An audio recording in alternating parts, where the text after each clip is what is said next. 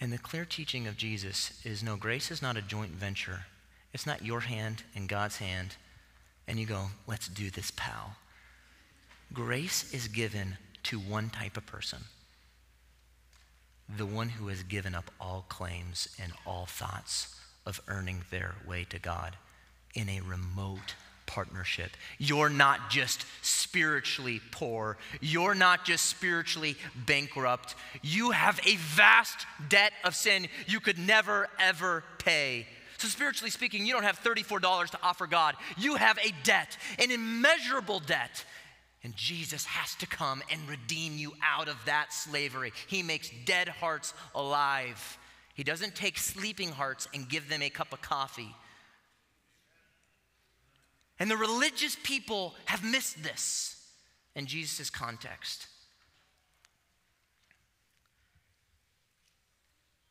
In heaven, there will be people who speak different languages, who lived at different times, in different contexts, different skin color. There will be a panoply of differences in glory.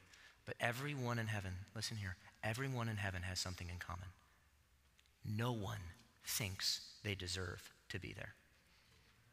There is not a single person you will meet in glory who went, Yeah, this sounds about right. In heaven, there will be varying personalities introverts, extroverts, but there will be a common demeanor. Everyone in heaven will have what demeanor? Look with me at verse 14. I tell you, this man went to his house justified rather than the other. Justified means right standing with God. For everyone who exalts himself will be humbled, but he who humbles himself will be exalted. What's the demeanor in heaven? One word humility, humbled.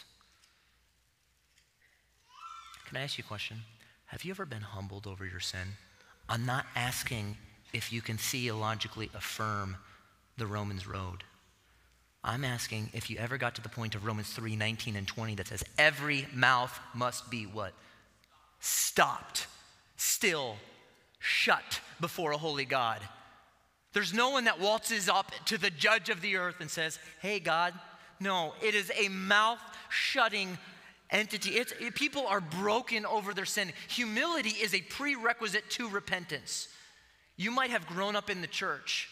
You might not have gone down the road of big sins. Every person who knows Jesus Christ has been humbled. They've been broken over their sin.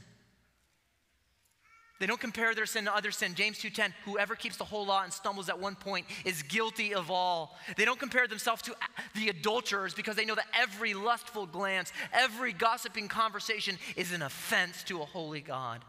And they've been humbled by this. We just sang, How marvelous, how wonderful is my Savior's love for me. You will never, ever, ever mean what you sing unless you've been humbled over your sin.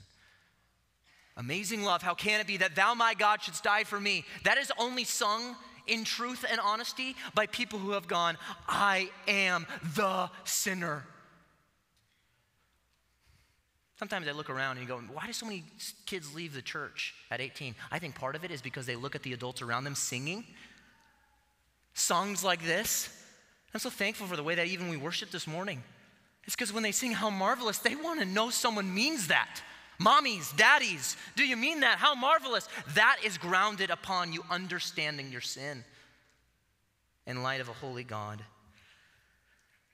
Jesus came to save those who are sick and recognize their sickness, not just people that nod their head at their mild spiritual infirmity.